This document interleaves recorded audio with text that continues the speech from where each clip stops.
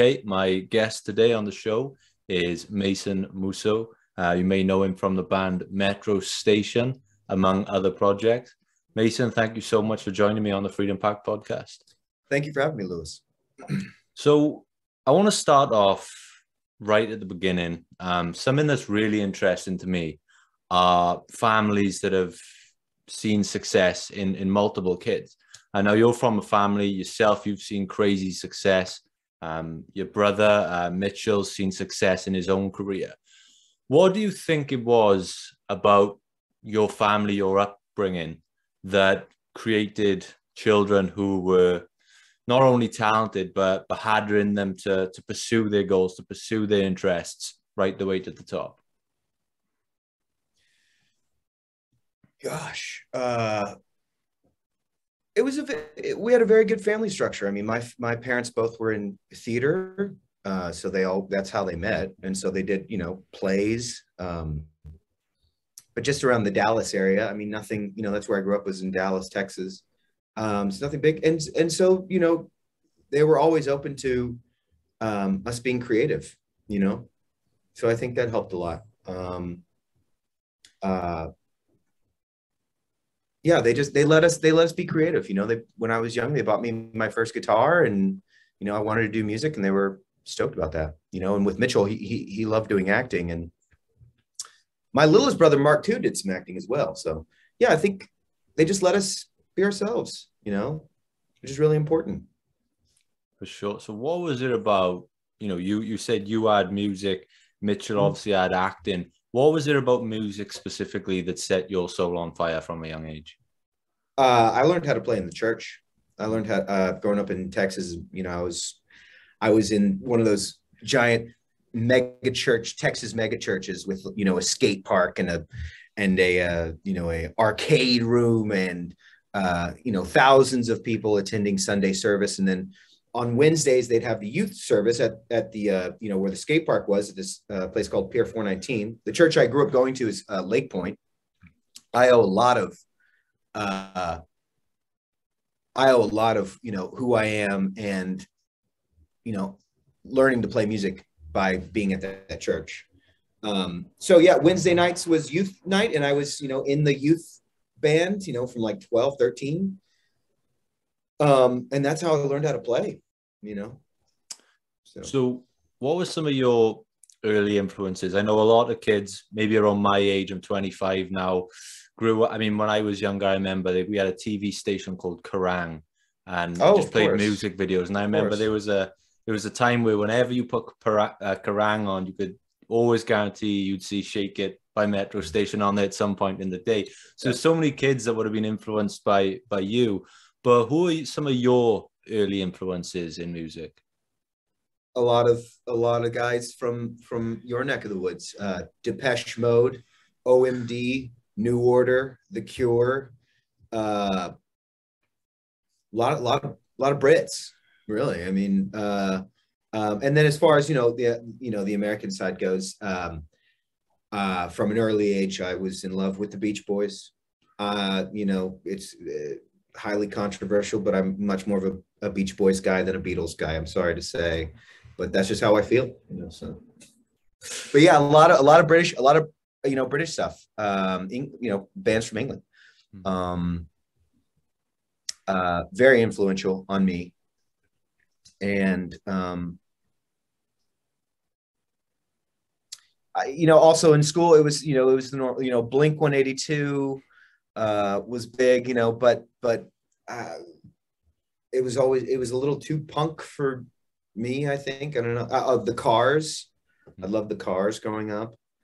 Um, a lot of bands that I was, you know, I wasn't around. You know, I, I was born in '89, so I had missed that whole. You know, I'd missed all the '80s, but I seem to have you know fallen in love with a lot of '80s stuff. You know.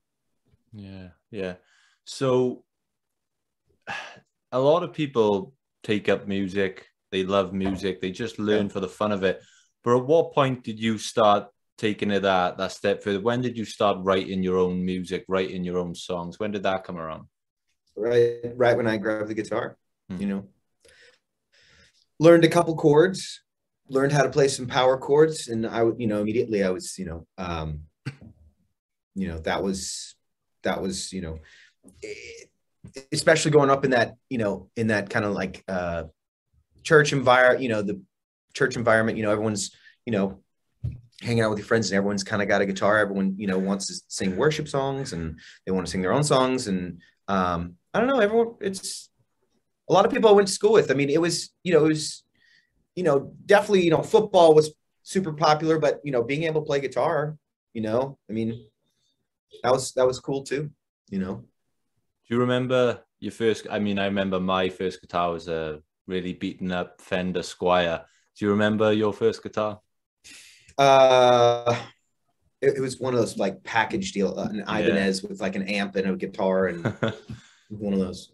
Amazing. So you mentioned there about you know growing up being the kid that loves music. What was school like for you? Um, you know, you mentioned maybe you were one of the kids who were, you know, one of the jock kids who were into sport. Maybe you were one of the, I don't know, maybe one of the outsiders. What was it like? Yeah, I, I was friends. I I had a lot of different. I had a lot of different friends, but um, yeah, I definitely sat at the uh, the weird kids lunch table for sure. but uh, but um, you know, also being involved, you know, with the church and stuff, you know, that you know, I, I, I knew I knew a lot of different people. Um, what was it like? It was good. I mean, it was definitely you know, if you're not doing sports in Texas, uh, you know, that's not, you know, I tried, I tried to do sports. I mean, I, I but I was just, I'm not really a sports guy, you know, mm. sadly. So I mentioned it right at the top, at Metro Station. So let's fast yeah. forward a couple of years. How, when, talk us, talk to us about the time that Metro Station formed. How did it come about? When are we talking? I was 16, 32 now. So, you know, half my life ago.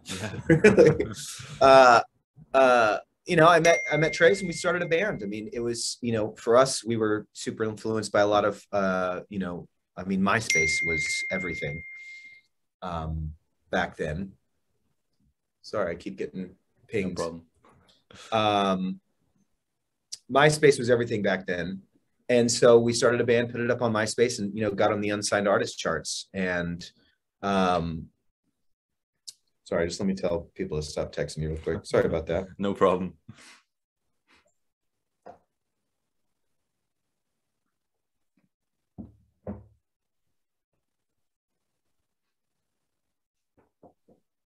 Okay uh, yeah, we got on the unsigned artist charts, and that's when you know people started hitting us up, like Columbia Records, Capitol Records. Um, I think we got to number four, I want to say, or something like that. Um, which you know, MySpace was amazing. I mean, it was literally a Spotify, a Twitter, and Instagram all rolled into one.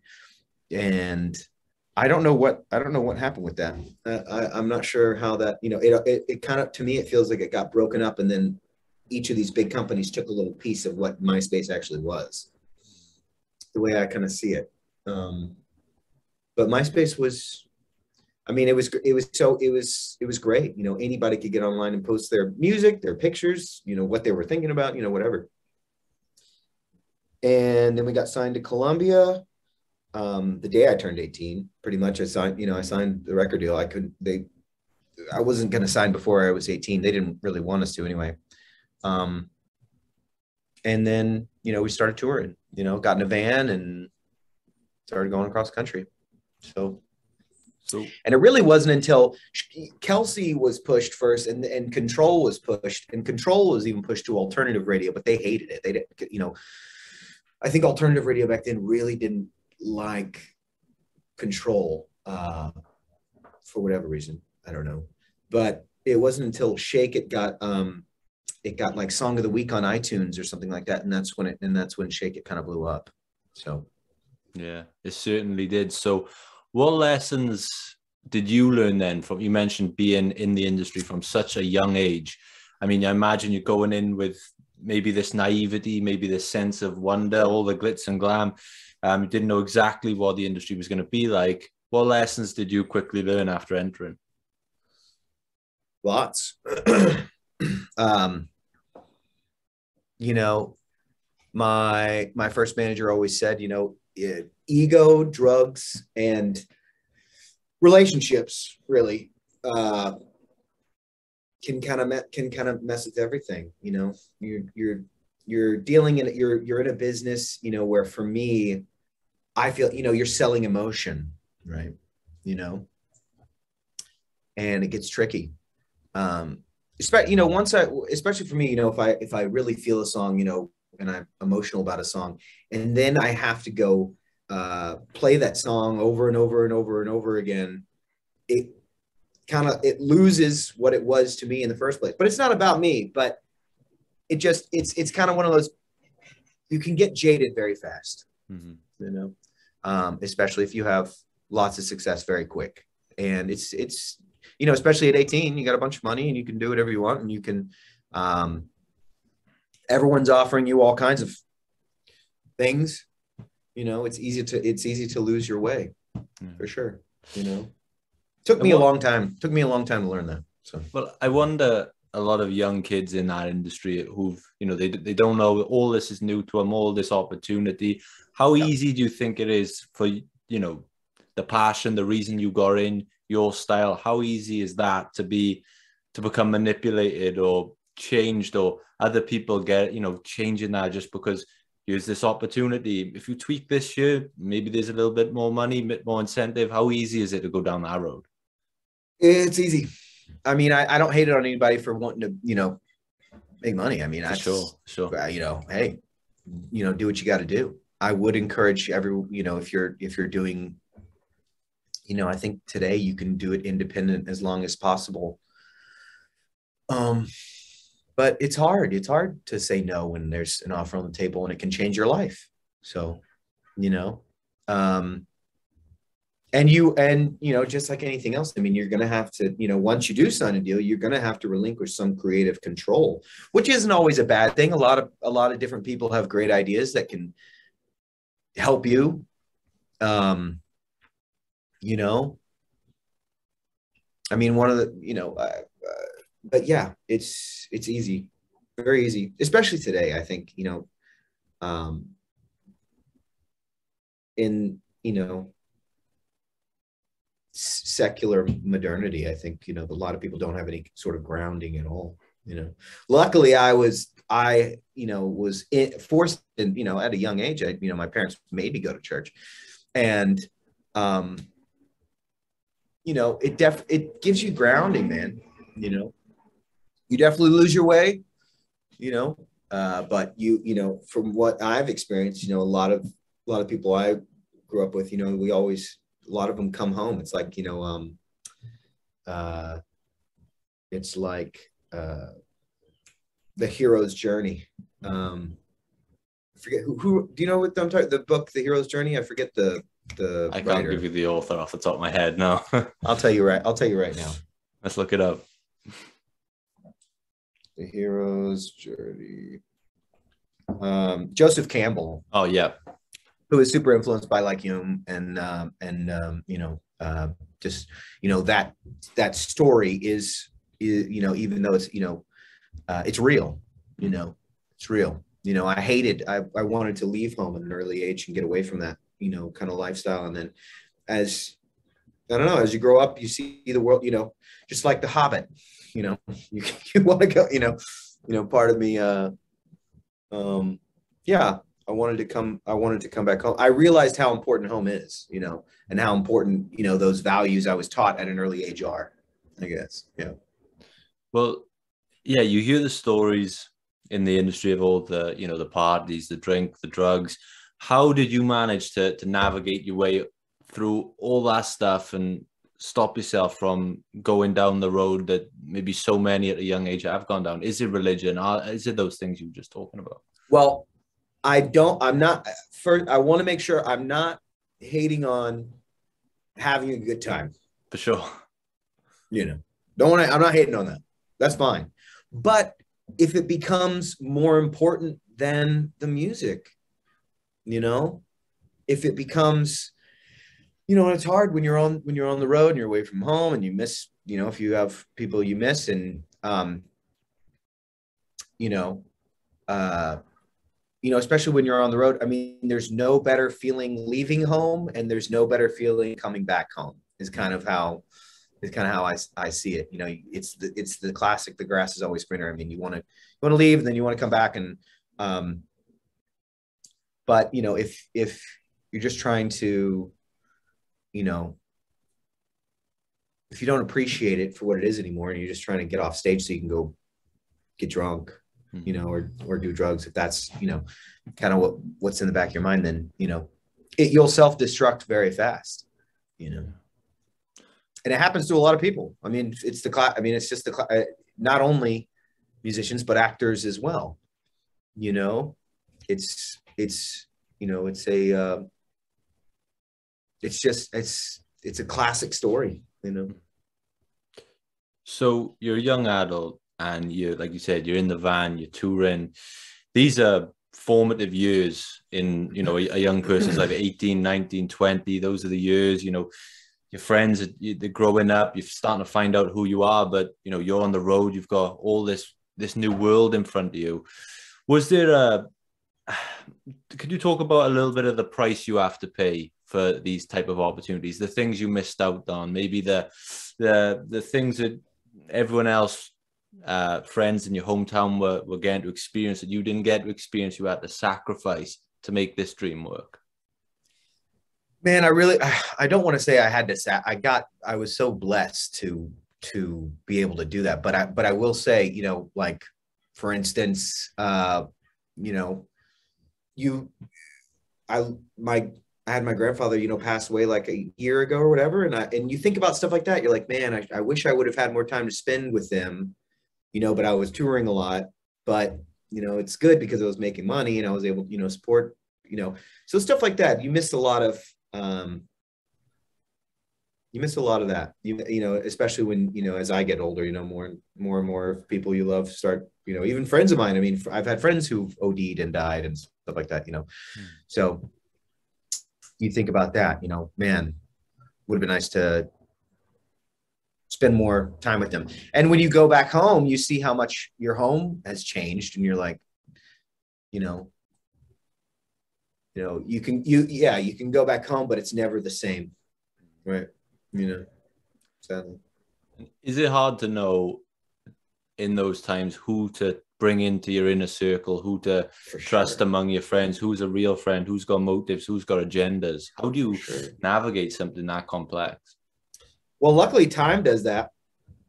Uh, sadly, you get burned a lot in the process, but uh, yeah, I had. I mean, it, you know, again, you know, I with you know a lot of my friends, you know, I've had a lot of great friends, but then there's some people that you know have you know they kind of just they're around and like you know especially with me you know if i'm paying for everything and i'm you know um you know my circle is you know uh, especially back in the day. You know, I was taking care of a lot of different people. Um, but yeah, it's it's hard to it's hard to find out who's who's you know your real close friend and who's going to be you know you know when the chips are down are going to be beside you. I mean, but I think that's with everybody. Yeah. Um, you know, uh, yeah, as you especially as you get older you're you, my my circle of friends has gotten smaller and smaller and smaller and smaller and uh, it's it's a good thing i have lots of acquaintances i have lots of like you know i would i would consider lewis yourself a now we're acquaintances now we're you know friends whatever but you know that's but you know as you get older your your circle of really really close friends you super you know you trust get smaller yeah sure and yeah, what in terms of people out there now thinking, yeah, maybe I do need a smaller um, inner circle, but you know, I think a lot of people feel a bit ruthless in terms of cutting oh, people oh, yeah. out because they think, yeah. ah, but we invested so much time. I knew that person from like when I was five years old, so they feel guilty. Do you have to be a little bit selfish? Yeah, but I, uh, you know, you should try. You should try to. You should try to. You know, not be. Hmm. But you know, if so, if you feel like someone's wasting your, you know, more so than ever as I've as I've gotten older, it's like, you know, um,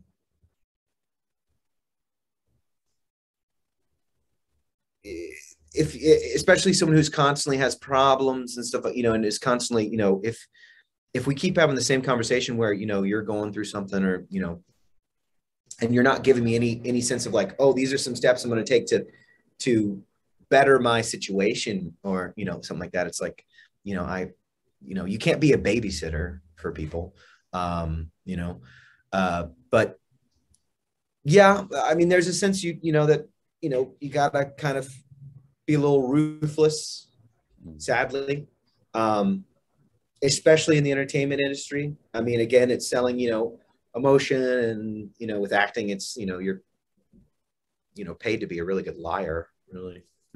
You know, but you know yeah the people who are the you know especially here i mean i live in um, i'm in uh, santa monica but you know the hollywood area but um it's it's brutal hollywood you know la is like and i've said I, I've, I've said this before it's it's like las vegas so Las Vegas would not exist if hundreds of millions of people didn't lose money every single day, hmm. right? It wouldn't be there if people were winning. And LA is the exact same way. It is the city of dreams.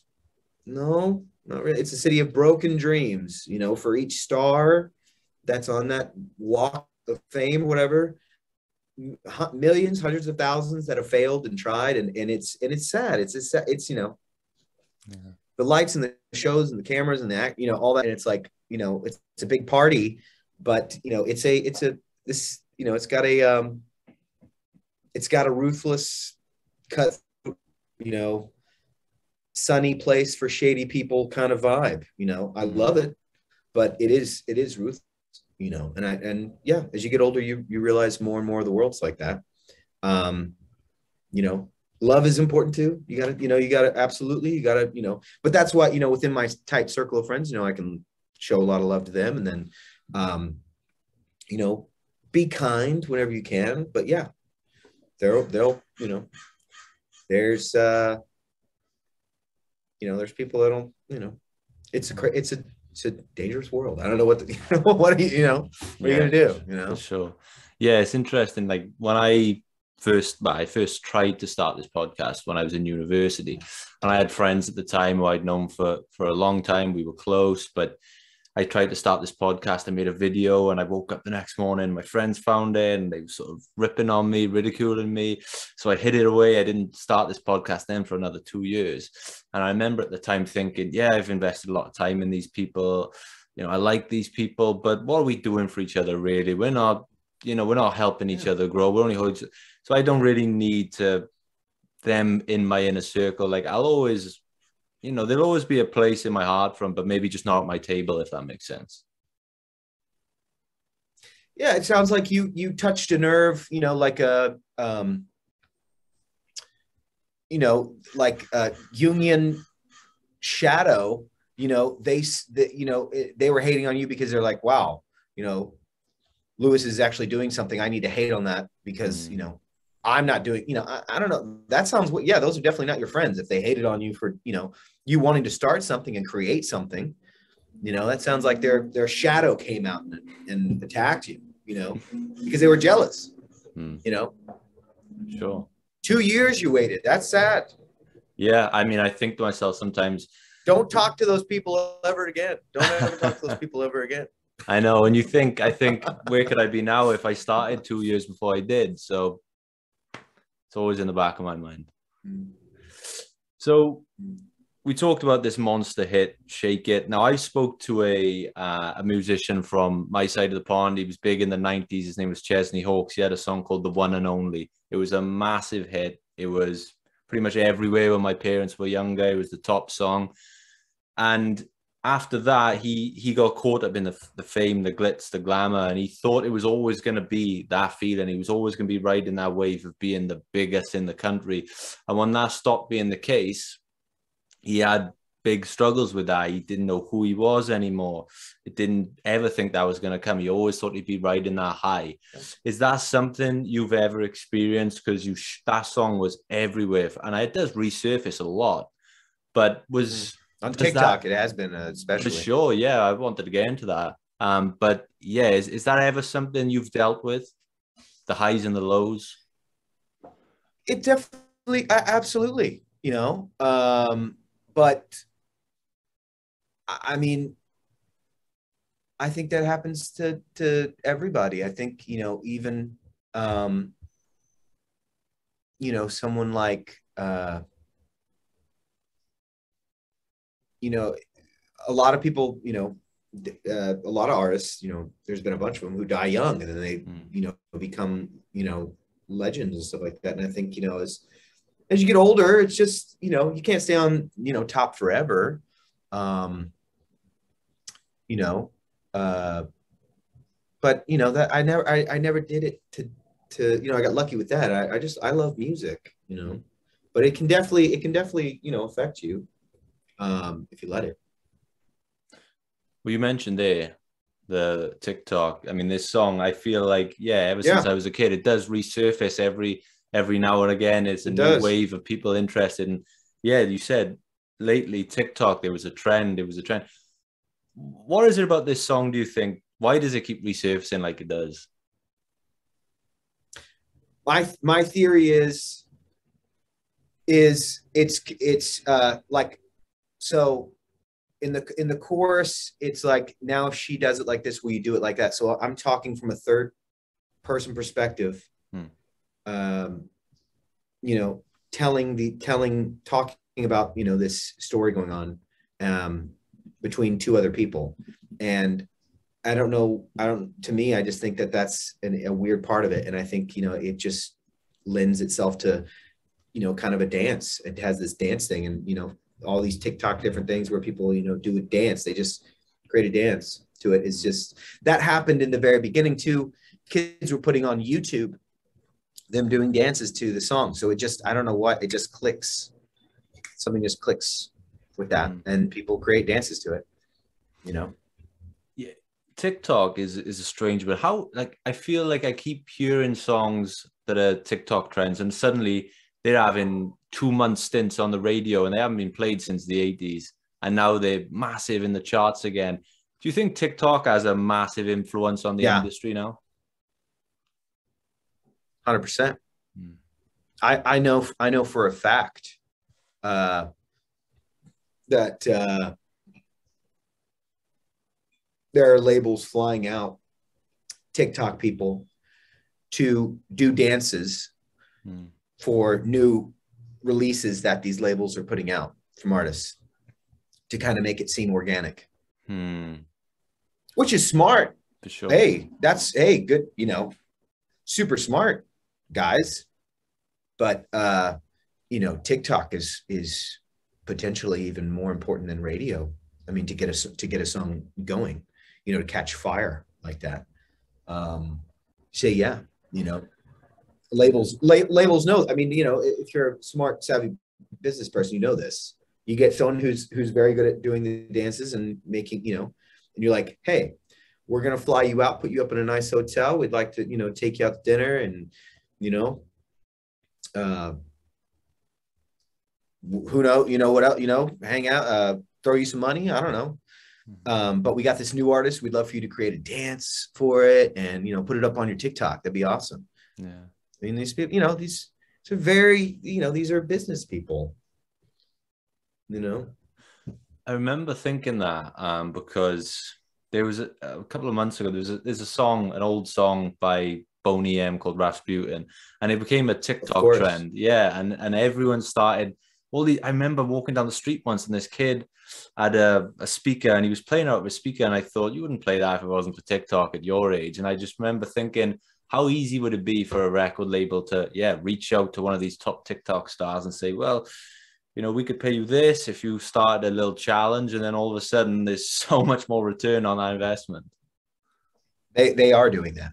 Wow, it's crazy. They are doing that. By the way, I uh, I love uh, that song, and um, I'm a big fan of like Russian history, and I love. Uh, and uh, I just listened to this podcast from. Um, uh, do you know uh, uh, Tom Holland? He does the Yeah. the rest is history podcast. Yeah, yeah, yeah. They did one. They did one on Rasputin. It was very Okay. good. Um, there's that new movie actually coming out, The King's Man, uh, and it's all and the villain is Rasputin. Oh, of course. Yeah, yeah. Uh, yeah, um, it looks really good. I, I, uh, I, like I said, I love, I love, uh, super into that Rush, Russian history, especially you know that, um, that uh, you know right before World War One. You know, Hmm. So you mentioned history there. Outside of music, what do you love? What are your passions? What do you love to do in that in that time away from the guitar? I love history. Uh, it's the only subject I did well in. Really, um, I love history. I love, um, uh, you know, I'm super into you know people like you know uh, Jonathan Pageau, Hmm. who've uh, you said you've you've had on. Yeah. So uh history religion politics psychology um uh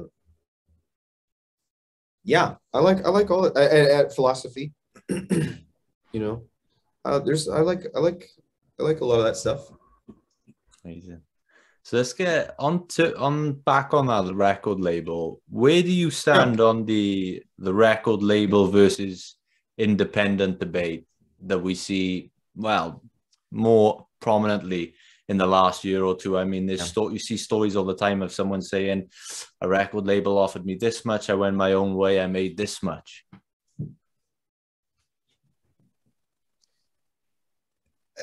If they offer you a good deal i can't hate on it Yeah, for sure. if it's enough money to change your life you know go for it Hmm. um you know the big you know the big the big labels are you know they know they know what they're doing they're super smart um if you can do it independently do it for as long as you possibly can um you know so Right. I remember so this. sorry i keep getting these pings i'm sorry No about that i've told I, I literally texted everybody don't hit me up It's all good, brother. All right. Um, yeah, I remember listening. So yeah, before- I would say I would say labels, you know, can't hate on it. Yeah. Definitely changed my life. Hmm. But if you can do it as do it independently as long as possible. Yeah.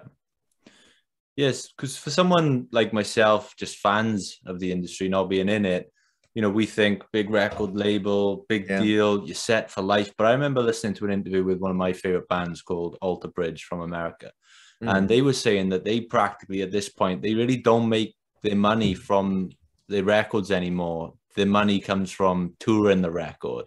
Yeah. Is that is, is that the case? Because I mean, for a fan, you just think big record deal, you're minted, you're you you know, you're fine. But is that not the case? No, merch is definitely important and touring is definitely important. Um if you if you know a song sticks, I mean it just it makes you know it does and it does well, then it can be very lucrative. But yeah, touring is super important. You know, Mm. playing shows is very, very important. Yeah. So one thing I heard you speak on before that I found really interesting, I can't remember the channel of the interview it was, but it was on the topic of punk, and you were talking about how punk has changed and how originally it was all about fighting the man, it was about going against the system, going against the machine. And you said it, and you and I started to reflect, and I think of the punk bands of today, and yeah, all of a sudden it is socialist, it is groupthink. It's you, was there a point you recall in which they made that switch, or was that a gradual thing that we just sort of crept up on us without us noticing? I think that was with Joshua Phillips uh, of Epoch Times. That's right. Yeah. and um, great guy, very very smart. Uh, when was the flip? It, it's I don't know. I'm not sure. yeah, because I remember def- yeah, you had uh, the Sex Pistols, guys like this. You think Yes. they really one way, and then you look today, and uh, Johnny Rotten from the Sex Pistols, people hate on that guy now. All these punk fans, yeah, he was never. he lives out here. He lives. He lives right over. He lived right over here in Venice. on the way. Yeah. It's crazy how we've got away from that style of punk now. Punk is something that's com- that completely it's a completely different thing now.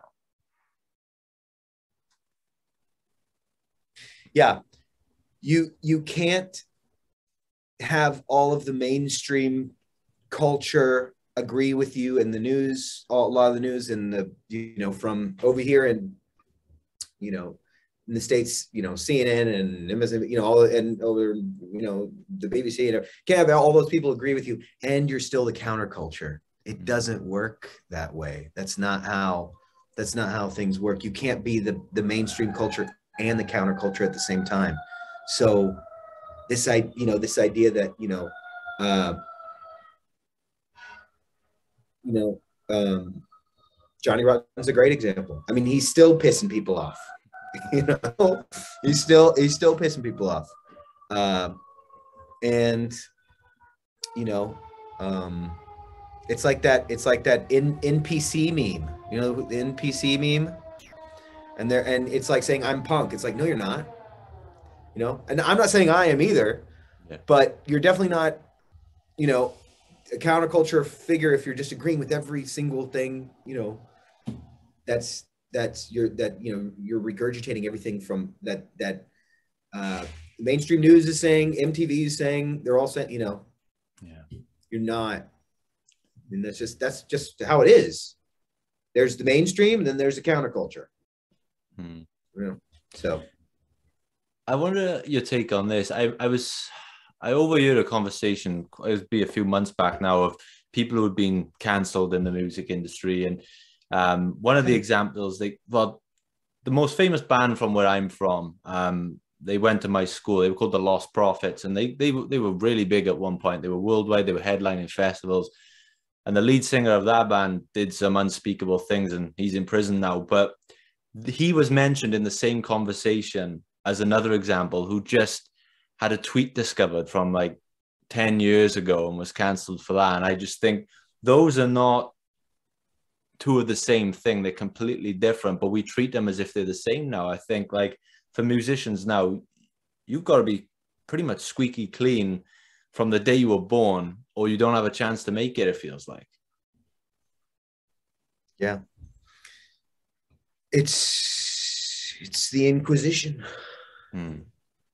um, one sin you know from from you know back in the day you know people will find it um it can't go on like this it can't go on like this uh someone's gonna have made you know does talk to the wrong person or said something that you know isn't politically correct now um you know this is you know it can't go on like this so Hmm.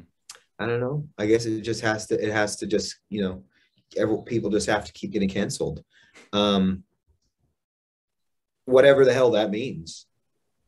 I don't know, but you know these these people that are behind it are you know, you know they, you know just like just like uh, you know uh, you know uh, Stalin had more contempt for you know the liberals than he did you know any of any uh, you know anyone who was uh, I guess more so you know um, traditional Hmm. in in Russia. He had more contempt for them. It's bib- it's biblical, really. It's you know you are neither hot nor cold, so you are lukewarm. So it you know spewing you out. You know. Yeah. Uh, so these people that are that are you know, not that I'm like try, really fighting anything, but it but you know I, I'm talking about it and I'm talking about how insane it is to try to cancel you know try to cancel anything that you know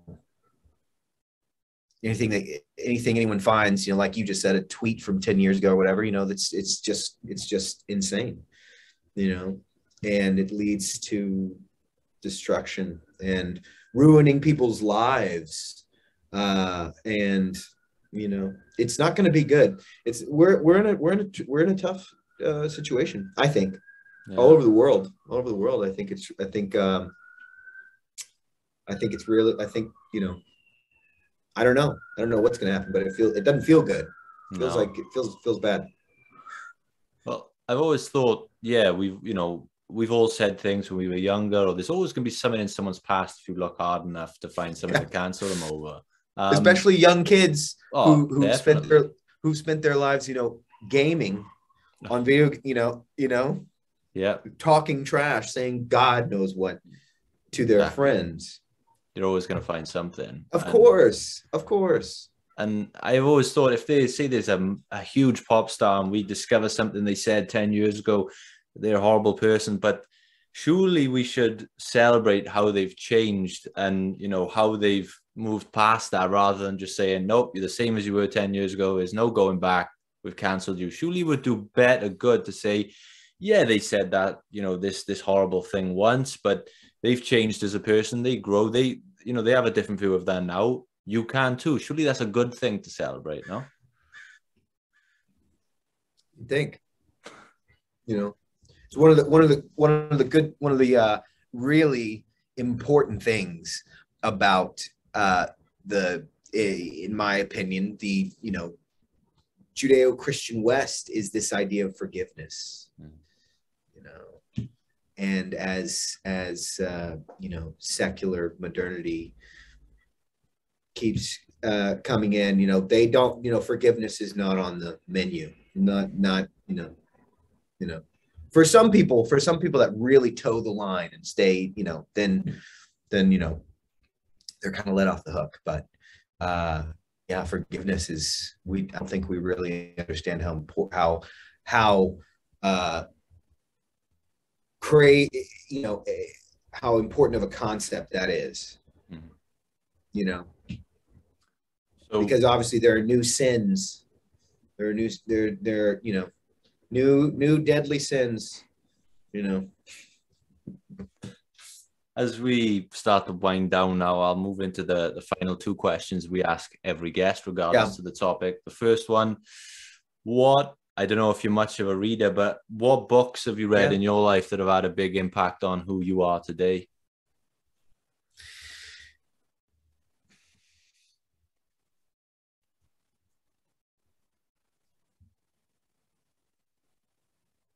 I mean, my my one of my the one of the first books I ever read, you know, that I, when I was a kid, I loved The Hobbit. Uh, uh, Tolkien for me was uh, very influential. Always loved fantasy. Uh, you know, especially reading, you know, people like you know uh, Joseph Campbell. You know, the idea of the hero's journey. I think I think Tolkien has you know those books are you know deeper than just the story, especially you know like Lord of the Rings or whatever.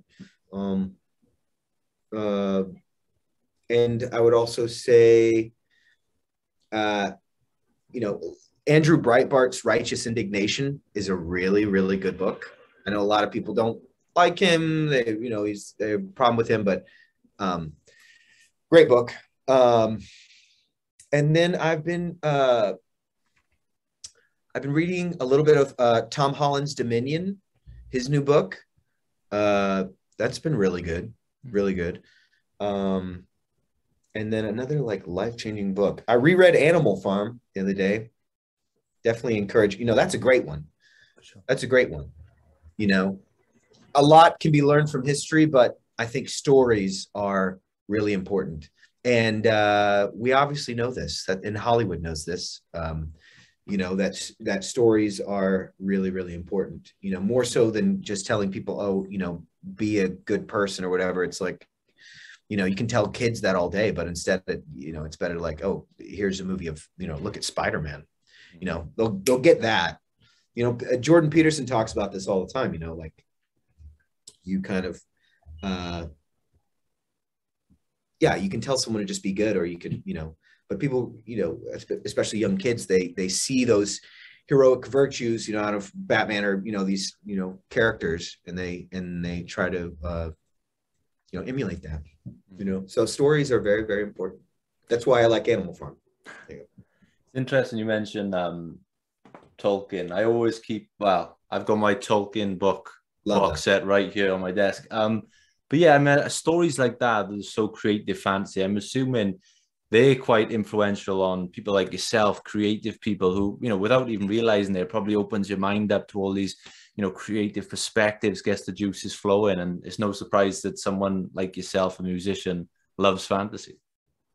absolutely absolutely i was even I, you know uh um i think jonathan pageau uh he said um, he said something like, you know, anyone who wants to write fantasy, you know, you ought you automatically are in Tolkien's world. Tolkien created. The world for fantasy. I mean, if you if you tried to get rid of Tolkien, I mean, you'd spend like 10 years of your life as a fantasy writer trying to write the Tolkien out of you. Yeah. Because you know, he just he Tolkien uh he knew what he was doing. For sure. Um and those uh uh, and I heard Tom Holland say this the other uh in one of his podcasts the other day.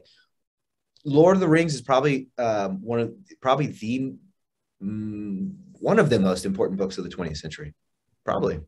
You know, even though it's a story, right? Yeah. But it but you know, some you know, and again, like like like Peterson talks, you know, um has said many times, uh, you know, even there's it's truer than true right there's there's there's deeper truth in in some of in especially something like lord of the rings than just giving a historical account Yeah. of uh you know of you know history um the powerful powerful stuff and that's why that's why it, it's done so well obviously Yeah, there, I think anyone who's read um, any of Jordan Peterson's book, I mean, I think in his new one he references Harry Potter.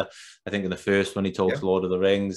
You're absolutely right there, man. It's uh, it's amazing. oh there there's a good one there's a there's a really good one look at the canceling around jk rowling Hmm. i mean totally insane insane they're trying to rename quidditch what the what the hell is you know sorry but uh, it's just insanity I know. insane.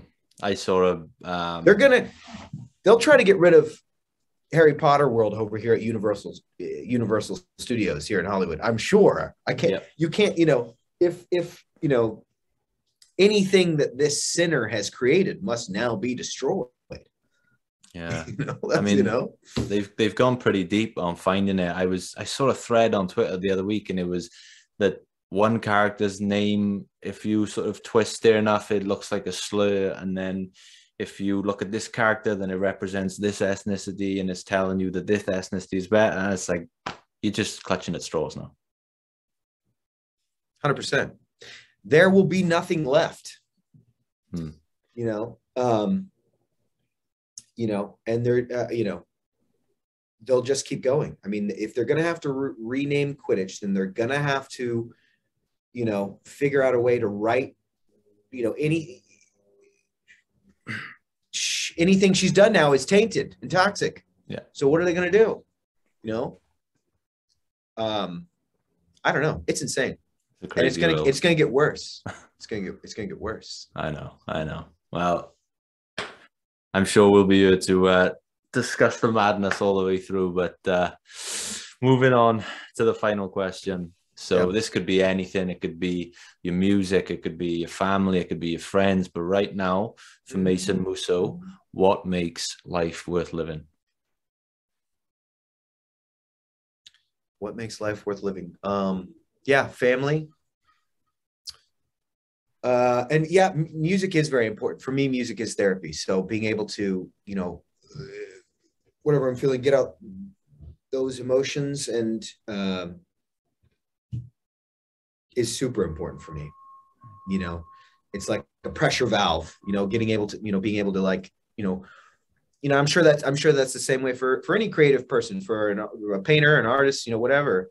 You know, you release some of that pressure that's building up in you, um, and you get it down on paper, or you get it down on guitar. You you know, you record it. You know, um, very important to do, and uh, yeah, it's therapy. It's great, and um, that's that family. Um, yeah, probably the most important things um, in my life. Absolutely.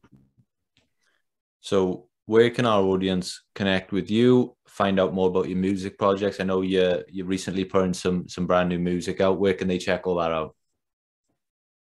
Uh, def- on my Instagram, the Mason Musso. Um, that's uh, I'm more uh, active on Instagram and on Twitter, uh, Hmm. the Mason Musso. Um, but more so on Instagram, I'd say.